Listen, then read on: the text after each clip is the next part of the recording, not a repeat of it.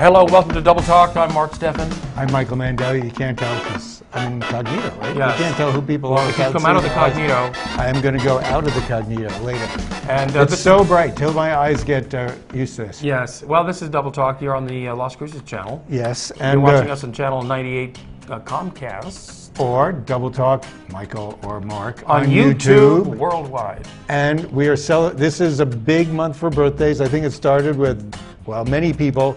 Dave Zemont first, then Lynn, Lynn Zemont. All our Then, faithful uh, watchers, they tell uh, their birthdays are. Ned Rubin, uh, uh, Stephanie Singer, all these people. They sound Jewish, don't they? All the people you know from the temple, I think. That's right. Uh, Tom Levy.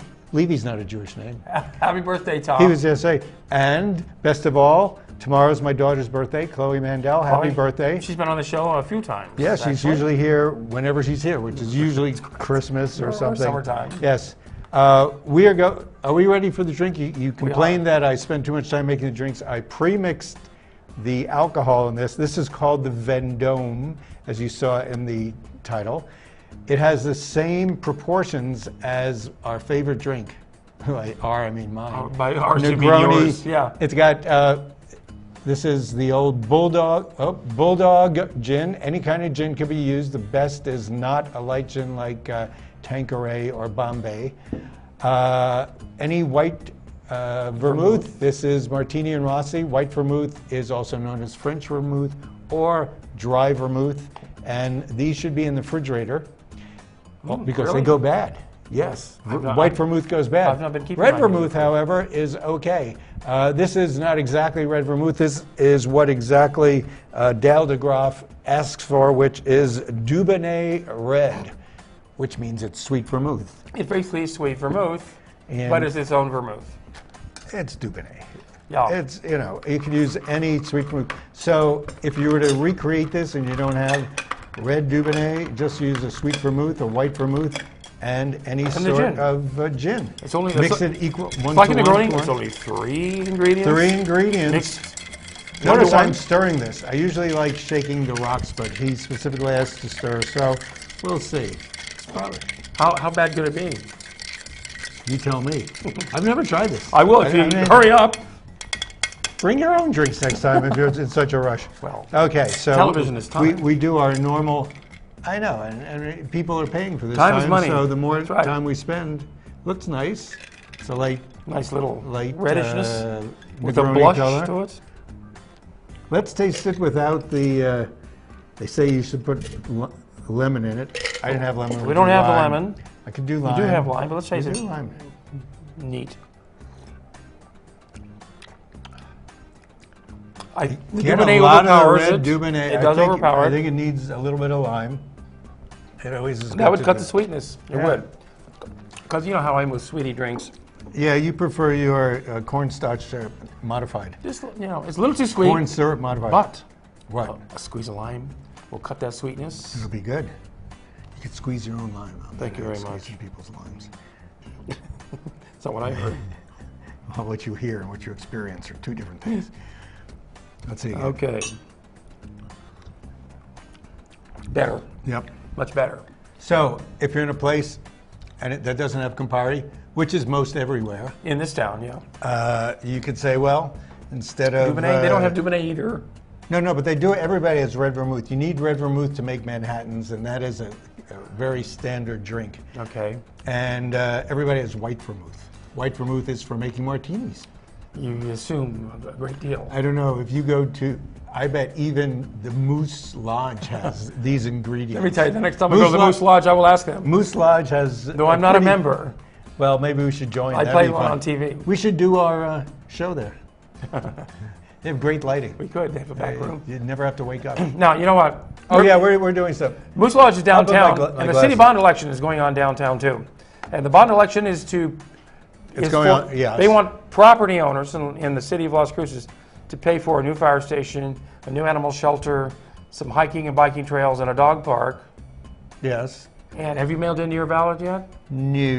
Now, the new fire station, I have not. they're talking about the one on Valley Drive that was built, I guess, in the 70s. Then they've added on to it since then. Um, What do you got to say about that fire station? I'll tell you what I, You know- exactly you what know I have to those say. guys, uh, they need a better kitchen, you know, because they like to eat good food. right? Uh-huh. Yeah. I'm sure they do. But you know what? That, that fire station is only 40 years old. Uh, if, you go to, Schools are older. if you go to New York City, you see fire stations that were built 100 years ago. That's true. Yeah, they've upgraded and 1800s. revamped the property, uh, but they're still using them. You The basic building is there. You know, really, fire station, fire engine, they need, you know, a Quonset hut. And Well- perhaps a holiday inn for the guys well, the guys sleep. live there too. you Yeah, know, well, they can 24 sleep, on, uh, 24 off, whatever yeah. it is. Now, that's because the sho- uh, basically shoddy building practices here in Doña Ana County. They only build, well, they, it goes to the lowest bidder. And so that person then gets the cheapest Well, materials possible to build it with. yeah, but And then, of course, there's a cutback, kickbacks to the people who got them the job. Obviously, so now because that's why they're, building doing cheap. all these events. I mean, why are they fixing an entire Missouri uh, Avenue? They, they, Valley Drive? They ate it up. Well, Valley Drive, they, they want to make it pretty. But who cares? It's a bunch of car, uh, say, you know, Car lots lots. Well, so you can't make that look pretty. So because they didn't build a fire station correctly in the first place, now they have to redo it, which is how they do with everything. When will, So- you know, our city hall was built about the same time, uh, and now we had to build a brand new one. Coming to work, I saw somebody's uh, sign for their election saying uh, taxes is uh, uh, robbery, right? Yeah, Does that make uh, the federal government the biggest robber? absolutely. Does that mean the guy whose name starts with T is a big thief? Well, we know that. And all his buddies are thieves, apparently. Now, I do, I do agree. We need a new animal shelter, or at least an expanded animal shelter. Because you like animals, but it's we've got to put them somewhere. The While last thing was them. that they uh, they just got a disease because of the place they live has a lousy distemper. floor. Distemper is, is running rampant through the dogs and Yeah, cats and with distemper, all you do is spend your day arguing. because you're so distemperous. Yes, your temper is just so, So. I don't know why it's always the, the property owners that have to pay all these. Why can't sales tax go up by one mil? Because people, then every, that's, well, first of all, property tax is a little bit more uh, against, let's say, people who have money. If you start a sales tax, then people who can barely afford food and other stuff have to pay it. It's more equal. Yes, but uh, property But- owners are just going to raise their rents to cover the, pro- the additional property tax. So those people who live in those buildings, the same people who would Well, have true. to uh, suffer through a tax increase I on go- sales. I was going to argue against it because the of uh, poor people, but it's true that their rents will be uh, raised. But the way I figured it, uh, I got to make the claim that I do own property. Yeah. I'm thinking it's like five bucks a month for them, R- but raising taxes, and that might cover it. Maybe if you pay more, ten bucks a month, and you could say, well, that's the way it works. So I think people who rent here think, well, I don't have to pay property taxes. Well, you got to pay what your landlord asks you to pay, and if his prices go up, so do yours. Well, now I, I live just off of Valley Drive, about 100 yards north of the city limits. But if there was a fire in my neighborhood and the Doña Ana Volunteer Fire Department showed up and needed assistance, that fire station on Valley Drive they want to rebuild would be responding to my neighborhood because they do support. Oh, there it goes. I'm not paying for that. I'm not mm. paying for anybody to respond to a To fire put out at your my house. house, No, I'm my- not going to do that. You know, put out your own fires. You start your own fires. You put them out. And so, and with that, we're going to move on to ill- illegal dumping of trash Oh, and waste. Somebody said vote no. I Oh, don't so know s- many people, you don't, you want to vote no? Is that correct? I'm You've not already sent vote in no. your ballots, right? No, I have not. Oh, you are going to? Yeah, I'm going to send in my ballot. I'm going to pull it. With a to- vote no, right? Not 100%, no. Okay. Some there's four initiatives you can vote yes on some and no Well, on others. also there are uh, city council initiatives to make it uh, less easy to have somebody uh, taken out from an office. Yes, a recall recall scenario to make it not as easy to, to recall them. Is that correct? Yeah, I don't think anybody's been recalled here. They tried it. They did. People from out of town came in tried to recall. Oh, that's right. uh, Outside Democratic money. Yes, and so they Who? put Billy Garrett? they no city That's city county. council. And so um, anyway, get out and vote. Vote yes or no. You know, there are many issues. Don't vote straight ticket. Decide everything that you want to get in. One at a time. And things that you don't want not to, because each part of your taxes will go up at, uh, depending on how many things get approved. That's true. Now, moving on, illegal dumping is a problem in Doña Ana County. One reason it's, it's a problem is because the cost of But it's attractive. of taking your waste to the waste collection places. They charge you to dump your waste there. So what do people do? They load it up in the truck and take it out to the desert and just dump it, uh, like like uh, filthy scumbags they are. You know a guy named Phil The scumbag? Uh, who? Phil one? the scumbag? Is that who you said? I didn't say. You said Phil. Phil the Filthy. scumbag. Filthy. Oh, filthy. Yes. Phil- I thought you had a British accent. Phil the scumbag.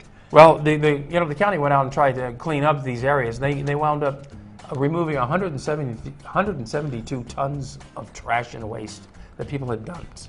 I, I see where you're going here. Where am I going? You're going to say To the desert, We because should make uh, uh, trash into a fuel so that we can get energy out of it. So that would be a bunch of tons of trash that we could use instead of burning oil. Is that where you're going? Or are you going to the nuclear dump? I wasn't going there with that, but that's, you know, a- well, I, I, well, you know, we do have a recycling system in place in, in the city, not the county, unfortunately.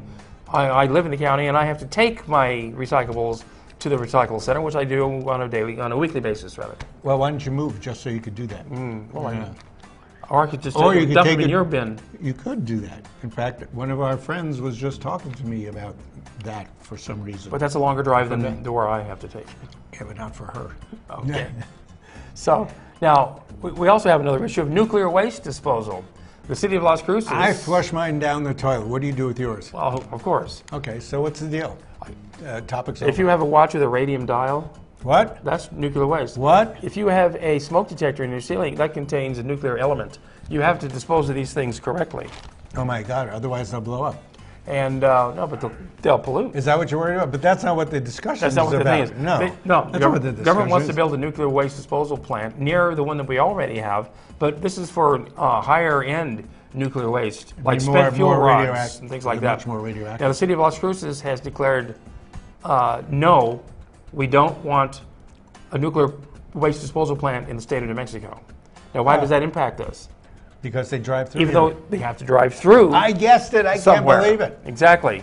And yes, they've put it into what they think are impermeable containers that could withstand any crash even a train hits the truck or something. It could, but, But- you know what it can't withstand? What? A nuclear bomb. So if a nuclear bomb hits it, it could explode uh, the trash and I see. it. And then that would be really the least of our worries. And we should put a bottle of vermouth there, as for, you for the driest martini ever. Yes, the dry martini explodes. Yeah, so uh, they want to build this place over in Lea County, and um, Well, you know what? Uh, you can go all around the country, and everybody's going to say the same thing. not in my backyard. Yeah, not in my backyard. Our backyard already has this. Really, it's not exactly our backyard. Well, they should- although I mean, nobody lives there. we have a pretty big backyard in We New do. Mexico. We, New Mexico is a backyard. yeah. It's Any- almost somebody's attic. It's Any like place you have a huge, huge sparse areas, which New Mexico, Nevada, known for. Arizona, Utah We're a target. We live here because of its open land, and there we don't have to worry. If you live in Carlsbad, you don't have to worry, but you know we don't have to, except, except uh, you know, coming through here. Anything could happen, but anything always does happen. Ter- terrorist no- attack. first of all, even if nothing happens, something happens, right? We're humans and we're fallible. Yes. So you got to put that radioactive waste someplace. Otherwise, stop using nuclear power. Then just, just take it to Afghanistan. Dump it there. Why do we have to We dump it here? bomb Afghanistan. Well, yeah, it. yeah. Why bomb the not? crap out of it. Let's Okay. just put our nuclear waste there. solve that problem. Oh, there's the next problem. Now, atomic speaking bomb. Of, speaking of nuclear waste, you know, New Mexico exploded the first atomic bomb, and the and the people known as the downwinders, who lived where the fallout drifted toward and landed upon, uh, they've been after the federal government for, government for decades. so that happened around 1941. 45. Is that when they actually? Oh, so right before That they ended the used it, right before they Yes. used it, and killed 100, well, 200,000 people. Killed a lot of too, Japanese people, but it's also killed a lot of people in New Mexico. Who were in their 60s and 70s and died of cancer caused Yes. by the downwinders. And, uh, Otherwise, their smoking would have got them. Now, for some reason, the government, which set off atomic bombs also in Nevada, Utah, and Arizona back in those days, above ground, before they went underground in Nevada, those states are recognized by the government uh, to give out recompense to people who might have been downwinders. But they don't recognize New Mexico, I guess because they only set off one. And, uh, and Steve Pearce has refused to meet with the group. And uh, Steve Pearce, he's such a good guy. yes, Did I say that? How that? Are you going to read something? Don't read anything. Cancer study. It's been a cancer Yes. study and, and uh, high incidence of cancer in Tularosa, uh, Uh, Otero it may County. be finished in 2019, and so who have the cancer will Yeah. be finished concurrently with that. so the Tularosa Basin Downwinders Consortium Yes. are the ones who are who wanted to meet with Congressman Pearce and he refused to meet with So him. wait, that's uh, 75 years after? 1945. This is 1918. 50, uh, 20, uh, yeah. 50 plus 20, almost 20. It's close. Okay, we got to go to a break. Uh, Mark is going to figure out the math about that. You can figure out the math. There, it's been like 75 years almost since they got and hit. yet they're still suffering. At least they're still alive. Maybe the you remember that Jerry easy. Lewis, Dean Martin movie where Jerry Lewis was near a nuclear thing.